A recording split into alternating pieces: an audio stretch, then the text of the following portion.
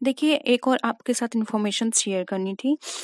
यहाँ पर हम लोगों ने एक बुक निकाली है, आप लोगों के प्रैक्टिस सेट कह सकते हैं। ये आपके यूपी बीएड एंट्रेंस एग्ज़ाम के लिए है। स्पेशली ये कॉमर्स के यहाँ पर आपको प्रैक्टिस सेट मिलेंगे आपको यहाँ पे अदर सब्जेक्ट नहीं मिलेंगे, जैसे कि आपका हिंदी इंग्लिश जीके इनके क्वेश्चंस नहीं होंगे, सिर्फ़ और सिर्फ़ ये आपकी कॉमर्स की बुकलेट होगी। इसमें आपको प्रैक्टिस सेट मिलेंगे दस और साथ में आपको प्रीवियस ईयर्स क्वेश्चंस अलग से मिलेंगे, ठीक है? तो प्रीवियस ईयर पेपर्स मिलेंगे आपको और प्रैक्टिस सेट मिलेगा तो आप इसकी बुकिंग करा सकते हैं। देखिए, ये जो बुकिंग है प्री ऑर्डर जो है, वो बिल्कुल फ्री है। प्री ऑर्डर हम इसलिए करवा रहे हैं जिससे कि हमें भी आइडिया लग जाए कि हाँ कितने स्टूडेंट्स बुक लेना चाहते हैं, उसी हिसाब से हम अपनी बुक को प्रिंट करवाने के लिए देंगे, ठीक है? तो उसी हिसाब से हमें एक आइडिया लग जाएगा कि कितने स्टूडेंट्स बुक लेना चाहते हैं। आपकी ये बुक है, ये पूरी फाइनल हो जाएगी। मैं कोशिश करूँगी जल्द से जल्द दस या पंद्रह तक ये आपकी पूरी बुक फाइनल हो जाए, ठीक है? और उसके बाद बहुत सारे लोगों के ऑर्डर आ चुके हैं और इसकी रिगार्डिंग आपको कोई क्वेरी भी हो तो आप नीचे कमेंट सेक्शन में लिख सकते हैं। और अगर आपको ये बुक चाहिए तो आप प्री ऑर्डर करिए, वहाँ पर मैं आपको और भी इंफॉर्मेशन दे दूँगी कि हाँ ये बुक कब आने वाली है और फाइनल जब पूरी बुक हो जाएगी, उसके बाद मैं आपको एक रिव्यू भी करा दूँगी। उसके बाद ऐसा नहीं है कि अगर आपने प्री ऑर्डर करा दिया तो आपको बुक लेनी ही है। प्री ऑर्डर से हमें आइडिया मिल जाएगा, सिर्फ़ इसी पर्पज से हम करा रहे हैं। हम आपको एक रिव्यू करा देंगे, उसके बाद अगर आपको बुक ठीक लगती है, आप लेना चाहते हैं तो आप ले सकते हैं, ठीक है? तो इसलिए अगर आप थोड़ा सा भी डाउट है बुक के रिगार्डिंग तो आप कमेंट सेक्शन में लिख सकते हैं। यही थी इन्फॉर्मेशन चलिए अब क्लास स्टार्ट करते हैं, ठीक है? Hello friends welcome back to my channel मैं हूँ आपकी फ्रेंड वर्षा। आज की इस वीडियो में यहाँ पर हम बात करेंगे अकाउंट्स की। कौन कौन से टाइप्स होते हैं यहाँ पर उनके बारे में हम बात करेंगे, कितनी तरह के होते हैं यहाँ पर हमारे टोटल अकाउंट्स तो अगर हम बात करें तो हमारे तीन तरह के अकाउंट होते हैं। ये आपके एग्ज़ाम में बहुत पूछे जाते हैं कौन कौन से अकाउंट किस नेचर के होते हैं, ठीक है? तो आपको हर अकाउंट का नेचर पता होना चाहिए। देखिए, अगर हम बात करें मेनली अकाउंट्स की तो अकाउंट्स हमारे टोटल कितनी तरह के मैंने अभी बताया आपको? तीन तरह के, ठीक है? अब ये तीन तरह के अकाउंट्स कौन कौन से होते हैं? तो इसको हम एक एक करके समझ लेते हैं। सबसे पहला अकाउंट होता है हमारा पर्सनल अकाउंट ठीक है? फ़र्स्ट कौन सा है? पर्सनल अकाउंट सेकंड होता है हमारा real account and third and last होता है हमारा नॉमिनल अकाउंट आप कॉमर्स से रिलेटेड किसी भी एग्ज़ाम की तैयारी कर रहे हैं तो वहाँ पर आपको ये ज़रूर पूछे जाते हैं और बहुत ही इम्पोर्टेंट और बहुत ही यहाँ पर हम बात करें तो बेसिक कॉन्सेप्ट है आपका ये अकाउंट का। आपसे पूछे जाएँगे, एक आपको कोई भी अकाउंट दे दिया होगा, जैसे कि फॉर एग्जांपल मैंने आपको फर्नीचर पूछ लिया कि फर्नीचर किस नेचर का अकाउंट है तो आपको बताना होगा। बिल्डिंग कौन सा है, स्टॉक कौन से अकाउंट में कंसिडर किया जाएगा तो आपको बताना होगा कि ये पर्सनल है, रियल है या नॉमिनल है? तो ये आप तभी बता सकते हैं जब आपको ये पता होगा कि पर्सनल अकाउंट क्या होता है, रियल अकाउंट क्या होता है एंड नॉमिनल अकाउंट क्या होता है, ठीक है? तो हम एक एक करके पहले इनको अच्छे से समझ लेते हैं। तो सबसे पहले हम आते हैं अपने पर्सनल अकाउंट पर, ठीक है? Personal account. तो देखिए, यहाँ पर अगर हम बात करें तो पर्सनल अकाउंट को फर्दर डिवाइड किया गया है तीन पार्ट में। अब वो कौन कौन से हैं? तो फ़र्स्ट है हमारा नेचुरल पर्सन ठीक है? नेचुरल पर्सन सेकंड है हमारा यहाँ पर आर्टिफिशियल पर्सन एंड थर्ड है हमारा रिप्रेजेंटेटिव पर्सन ठीक है? Natural person artificial person and representative person तो पहले नेचुरल पर्सन में देख लेते हैं तो यहाँ पे नेचुरल पर्सन अकाउंट जो है, यहाँ पर वो पर्सन आते हैं जो कि रियल में वो एक अब खुद, एक पर्सन एक ह्यूमन बीइंग को रिप्रेजेंट कर रहे हैं, ठीक है? जैसे कि अगर यहाँ पर हम किसी की भी कोई भी ट्रांजेक्शन हुआ है किसी पर्सन के साथ और वहाँ पर उस पर्सन का नाम इंडिकेट किया जा रहा है तो वो नेचुरल पर्सन में कंसिडर किया जाएगा। For example Ram's account Shyam account ये क्या है? नेचुरल पर्सन में यानी किसी पर्टिकुलर पर्सन के नाम से कोई अकाउंट है ठीक है? सेकंड जिसको हम आर्टिफिशियल पर्सन बोलते हैं तो आर्टिफिशियल पर्सन में यहाँ पर आ, किसी पर्सन के जो कलेक्टिव ग्रुप होते हैं उनको रिप्रेजेंट किया जाता है वो कहा जाता है आर्टिफिशियल पर्सन ठीक है? फॉर एग्ज़ाम्पल यहाँ पे मैंने बात की बैंक अकाउंट तो ये ग्रुप है पर्सन के। फिर मैंने बात की किसी कॉलेज के अकाउंट की, किसी फर्म के अकाउंट की तो ये क्या है? पर्सन नहीं है, लेकिन ये ग्रुप ऑफ़ पर्सन है, ठीक है? तो यहाँ पर बात हो गई हमारे नेचुरल पर्सन अकाउंट और आर्टिफिशियल पर्सनल अकाउंट की। अब बातें हैं कि रिप्रेजेंटेटिव पर्सनल अकाउंट में कौन कौन से आते हैं। तो रिप्रेजेंटेटिव पर्सनल अकाउंट में वो सारी चीज़ें आती हैं जो कि हमारे वो ट्रांजेक्शन्स अभी करने से रह गए हैं। ठीक है? यानी कि या तो वो प्रीपेड है या फिर वो आउटस्टैंडिंग बेस्ड है। फॉर एग्ज़ाम्पल आपको किसी को सैलरी अभी देनी बाकी है ठीक है? या फिर आपने किसी को कोई भी अमाउंट जो है वो एडवांस में पेमेंट कर दिया है। तो ये क्या है? आउटस्टैंडिंग है और जो एडवांस में दिया है वो आपका प्रीपेड है। तो जितने भी outstanding expenses out prepaid expenses, इस तरह की सारी चीज़ें आपकी किसमें कंसिडर की जाएँगी? रिप्रेजेंटेटिव में।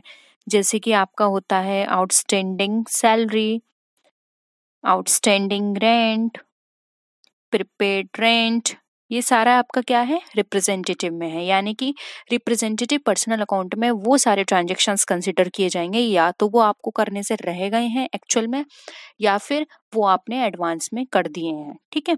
यानी कि वो इस ईयर से रिलेटेड नहीं है, या तो पहले के हैं या आपके आने वाले साल से रिलेटेड है, ठीक है?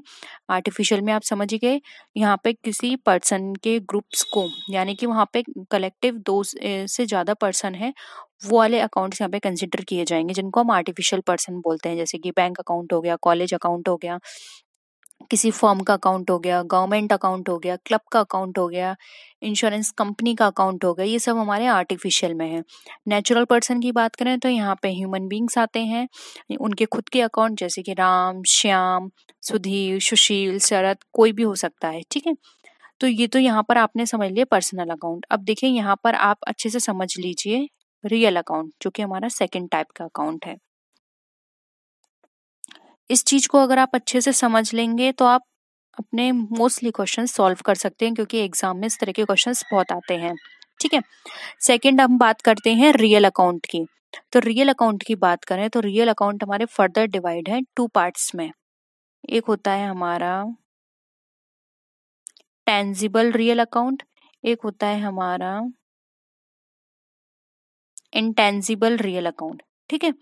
Tangible real account and intangible real account अब यहाँ पर आप इनके वर्ड्स जो है, इनके नाम से ही आप समझ गए होंगे। टेंजिबल वो होते हैं जिनको हम टच कर सकते हैं। इंटेंजिबल वो होते हैं जिनको हम टच नहीं कर सकते। तो अब जिनको हम टच कर सकते हैं, वो कौन कौन से हैं? तो देखिए, यहाँ पर मैं कुछ एग्ज़ाम्पल लिख रही हूँ। जैसे कि हो गया हमारा बिल्डिंग हमारा प्लांट हो गया फर्नीचर हो गया। ये सब क्या है? टेंजिबल है। यहाँ पर हमारा कौन और क्या आ सकता है? स्टॉक भी आ सकता है, स्टॉक को भी हम टच कर सकते हैं। कैश आ सकता है, और क्या आ सकता है? बताइए। मोटर गाड़ी आ सकती है, मशीनरी आ सकती है, ये सब क्या है? टेंजिबल है। अब हम बात करते हैं इंटेंजिबल रियल अकाउंट की। तो इंटेंजिबल रियल अकाउंट्स में वो हमारे एसेट्स आते हैं, जिनको हम टच नहीं कर सकते हैं। जैसे कि हमारा हो गया ट्रेडमार्क एसेट है हमारे लिए, लेकिन हम टच नहीं कर सकते। गुडविल है, लेकिन हम इसको टच नहीं कर सकते। पेटेंट्स है, असेट्स हैं हमारे लिए, लेकिन हम इसको टच नहीं कर सकते।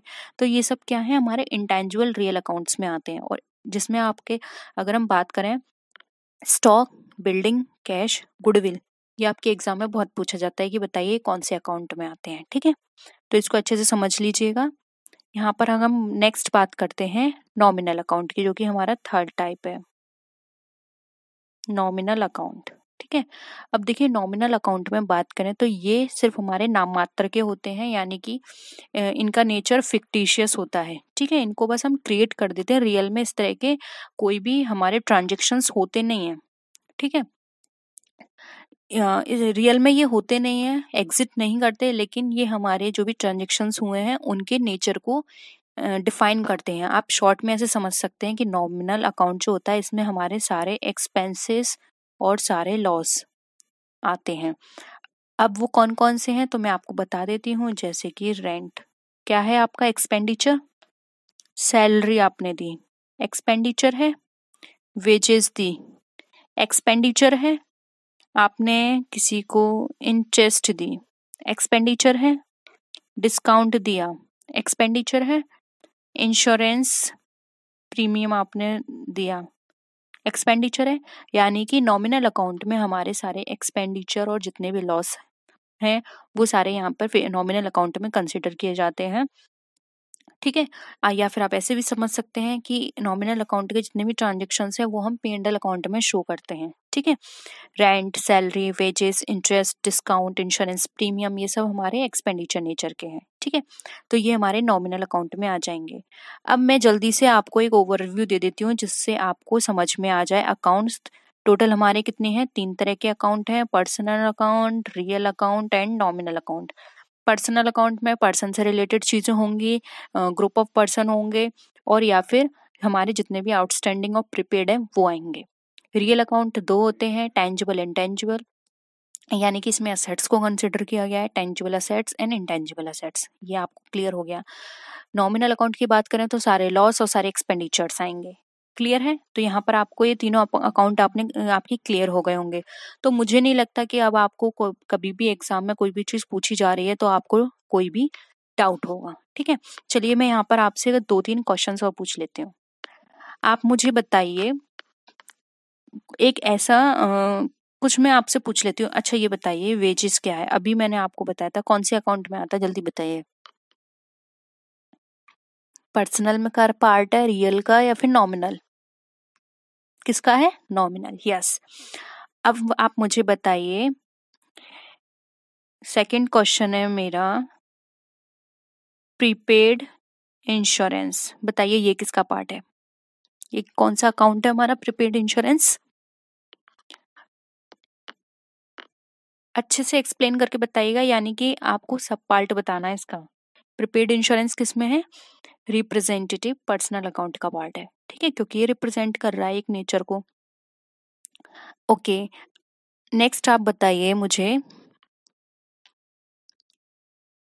क्वेश्चन थ्री है मेरा स्टॉक ये किस तरह का अकाउंट है?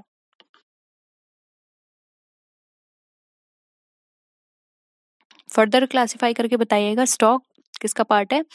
ये हमारा पार्ट है टेंजुअल रियल अकाउंट का, ठीक है? गुडविल किसका पार्ट हो जाएगा? गुडविल आपका पार्ट हो जाएगा इंटेंजिबल रियल अकाउंट का।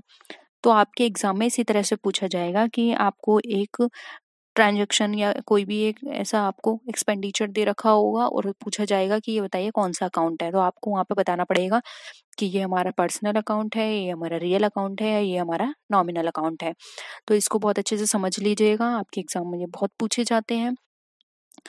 इस तरह की चीज़ें क्लियर होंगी, तभी आप अपने एग्ज़ाम में दो से तीन मार्क्स इजीली ले सकते हैं।